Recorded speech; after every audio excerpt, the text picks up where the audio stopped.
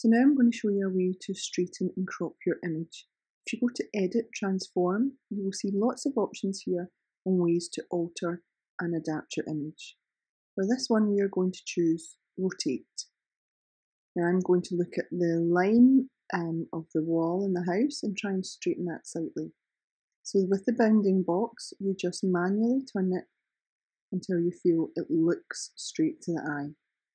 As you can see though, we're left here with some white spaces where we've literally turned the image and that's the background. So we're having to crop that. So we go to our select tool again and we check our ratio is 9 by 6 and we click and drag for the area that we want to crop. Now I'm going to crop this a little bit further now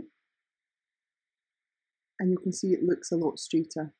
Now remember, we have to save our changes, so we go to File, Export as JPEG, we check our settings, make sure our quality is at 100 and click Save.